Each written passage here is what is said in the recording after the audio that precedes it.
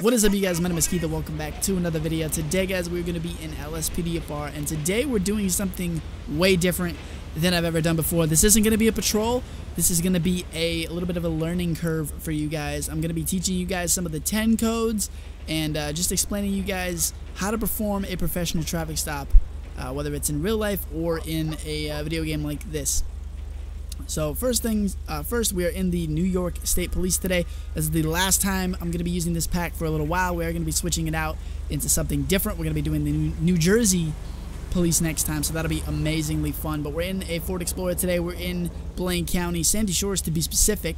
Um, if you guys are excited to uh, learn the codes and, and, learn what I'm talking about, and, and, if you're excited for some police talk and, and just on how to perform a professional traffic stop, and what to do on a traffic stop and what you should do if you get pulled over by a police officer, then hey, make sure to leave a like on the video, hit that subscribe button, guys, and uh, go check out my entire playlist of LSPDFR down below. Over 182 episodes now strong.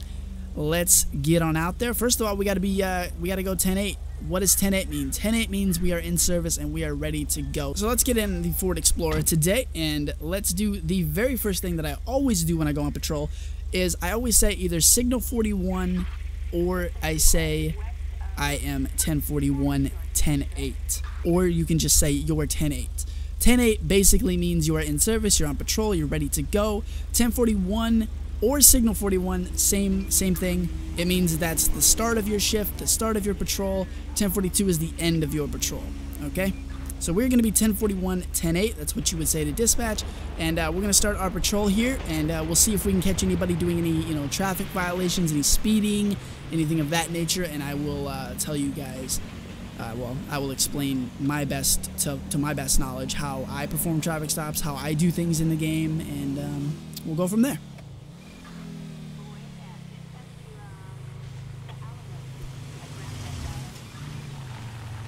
Okay, so we just got this guy right here. He's kind of weaving in and out of the lanes there. He came across the yellow for a second almost, and he's just weaving in his dune buggy. So basically what you want to do is you want to get behind him, you want to follow him, you don't want to throw your lights on right away or anything like that. First of all, you need to look for a safe place to pull the vehicle over. So right up here looks to be good. We're going to blip him here, and right up here we are going to initiate our lights, and we're going to blip the siren a little bit so we can get his attention, and he's going to pull off to the right-hand side of the road. Preferably the right-hand side would be amazing at all times. We're going to get him off the road a little bit more because he's not to the side fully, so we're going to tell him to move his vehicle off to the side of the road more. Right there is going to be good. Now what we're going to do is I always pull up my vehicle about a car length behind the suspect or the subject or the car in front of me or whatever it is and I always have a little bit of angle on the car like so. Doesn't have to be crazy. Some officers angle their car like like insane. I usually angle it just a little bit so I'm still off to the side. I like to keep myself a little bit further back from the vehicle because I don't want to be right on top of it in case you know he shoots at me or, or gets out of his car or whatever the case is. Or if I get rear-ended, I don't want my car to be slammed into his. So I like to keep at least a vehicle length or a vehicle length and a half behind the, the suspect's vehicle. Second thing I do is we have to call this in to dispatch, obviously. Now, some officers do this before they even get the vehicle stopped, and then they just hop out the car and go talk to them. I'm not going to do it that way today. I usually stop the vehicle completely first. As you can see, he does have a plate on that. This is the interior of the car, by the way. Looks absolutely fantastic. So what, what I normally would say is, I'm going to say what I normally would say, and then I'll run it down for you guys. King 52 dispatch going to be on a 1011 West East Joshua Road with a dune buggy style vehicle. San Andreas plate. What is the plate on this son of a bitch? We're going to check it this way because I can't see it. 2-4 Frank Ocean Charles 275 on a BF injection.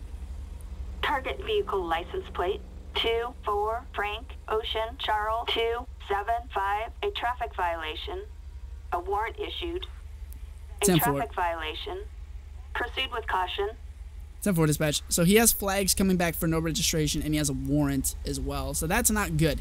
Now, basically, I'm going to give you guys a whole rundown of what I just said. Now, here's the thing a 1011 is a traffic stop. So you can just say, dispatch, I'm on a traffic stop, this street, blah, blah, blah. Give them a short, brief description of the vehicle you're pulling over, color, uh, if it's occupied times one or two, how many subjects are in the vehicle. Um, and then I say 1011, that's a traffic stop, okay? the next thing I do is I'm to call in the plate, which is 1028. That's what I say a lot. Uh, I'm to call in the 1028 and then I say the plate off. Now, when I'm calling in a plate, I say 1028. Can I get a 1028 on this plate? Blah, blah, blah, blah, blah, blah, blah, blah, blah, blah, right? Uh, I also use the phonetic alphabet. So when it says BAC, it's Bravo or boy or whatever phonetic alphabet you're doing. You don't have to go crazy and memorize all that, but I've been playing LSPDFR so much that I just memorized the LSPDFR phonetics. So there's that. Um, when I'm running somebody's driver's license, that's called a 1027, and sometimes you'll see hear officers say, "Can I get a 2729 on blah blah blah blah blah." Uh, the, the, the the 1029 is checking for warrants, see if they have any, like, if they're wanted for anything like that. And the 1027 is just running their driver's license to make sure they're not expired or suspended or, or anything like that. Once we have all that information, we would usually get out of the car, so I'm going to get out right now. I always walk around to the rear of my vehicle so I don't get hit, and I usually approach on the passenger side just because of traffic. Depends what, you know, traffic conditions are, but most of the time I like to approach on the passenger side. Hello, ma'am. Officer Richner with the New York Police Department. Reason for the stop is you kind of swerved into my lane a little bit back there. You couldn't really maintain your lane. You have identification, proof of insurance, and registration on you, ma'am. That's three things you always ask when you ask for somebody's license. You ask for a, or when you're on a traffic stop, you ask for their license, you ask for their insurance, and you ask for the registration. And you also want to identify yourself as the officer, uh, what division you're a part of, all that good stuff, and the reason for the stop. So we're going to go run their information now.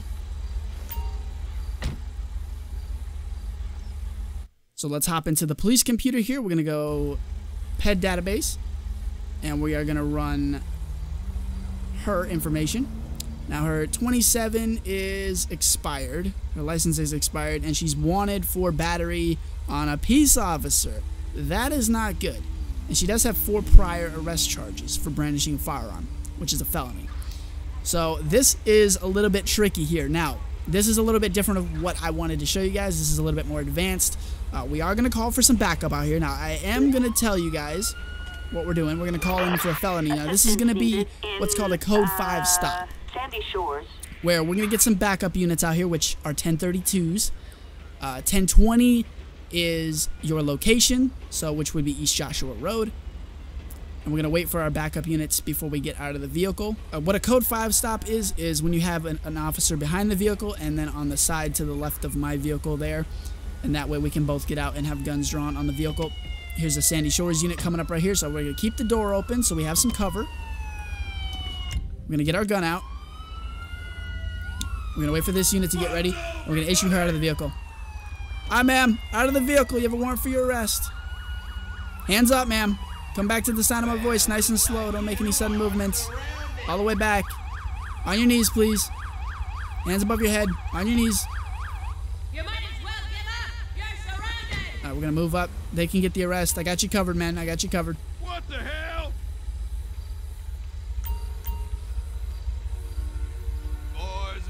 They're going in for the arrest now, and we have one subject, 1015. Now, 1015 basically means you have them in custody. That guy's flying like an idiot. That's how we do things round here. There you go. That's how we do things around here. Yep, that is how we do it. Hi, ma'am. You know you have that warrant for your arrest, right? That's the reason we're getting you out of the vehicle today, um, and that's the reason you're in cuffs right now. So we had her information. I'll make sure you get that back, okay, ma'am? You got anything in the vehicle I should know about? Any guns, knives, drugs, anything like that? Do you mind if I have a search real quick? Okay, thank you, ma'am. Okay, so we're gonna search the vehicle now. Attention Unit 1. King 52 Agent dispatch, we have We this have situation, code traffic four. alert In Sandy Shores. Code 4 means the situation has resolved sale. itself. She didn't even have a tire. Look at that. That was ridiculous. Yeah, I, I just wanted to tell you guys like about like traffic stops, and then we ended up finding somebody that had a warrant for their arrest. So that's that's something that's never never good here. We're gonna tell these officers to go 10-8 so they can go back on duty, and they can clear off of this call because we don't really need them anymore. Crazy stuff, man. You guys can go back 10-8. Thank you so much for the assistance. But yes, 1032 means backup. So if I want a backup unit, you say 1032. Or you can just say I need a 32. Alright, I'm going to search you, ma'am. You got anything on your person that's going to poke me, stick me? Anything illegal? Wire cutters, a pocket knife, and shave keys. Okay, thank you, ma'am. Come back to the to the uh, Ford Explorer over here. We'll get her in the back of the vehicle as well. Um, I don't know if she's gonna get in. Sometimes it's tricky if another officer arrests her. She might not get in.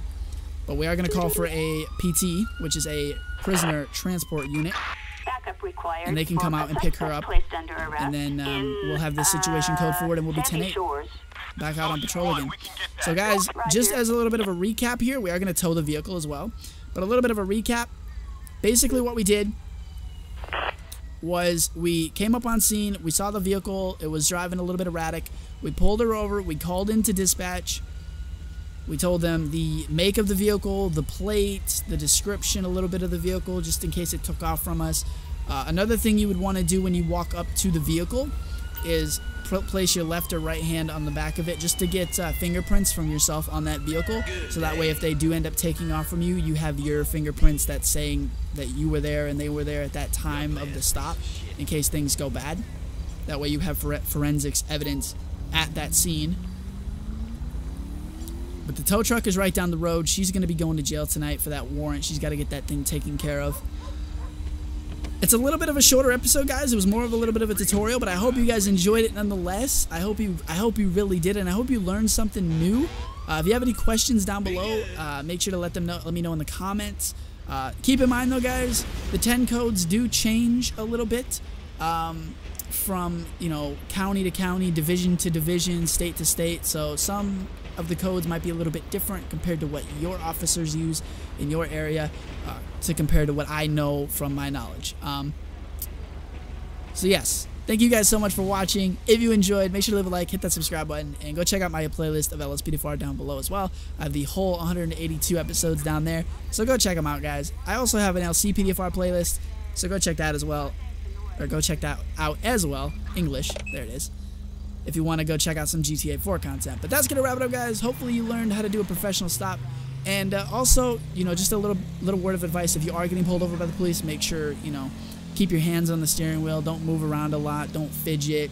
Uh, if you're a conceal and carry holder, make sure to announce that to the officer right away and tell them where the weapon is located, so they feel a little bit more comfortable. And don't uh, don't be alarmed if they do decide to ask you to step out and dis, dis you know they disarm you until the stop is over. But that's gonna do it, guys. Thank you so much for watching. Have a great day, and I'll see you next time.